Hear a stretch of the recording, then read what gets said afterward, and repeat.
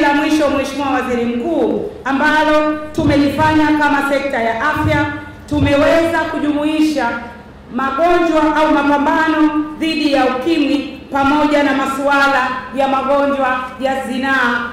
magonjwa ya ngono na, na homa ya ini. Tumeona takwimu za Shirika la Afya Duniani zinaonyesha kwamba kuna usha, ushi, kushabihiana katika njia za maambukizi, udhibiti na tiba kati ya masuala ya ukimwi, magonjwa ya ngono na homa ya ini. Na kwa sababu hiyo, Mheshimiwa Waziri Mkuu, tarehe 24 Novemba, Wizara ya Afya ilifanya mapinduzi makubwa kwa kubadilisha mpango wa taifa wa kudhibiti ukimwi National AIDS Control Program na kuanzisha mpango wa taifa wa kudhibiti ukimwi, homa ya ini na magonjwa ya ngono NASHCO, National AIDS STI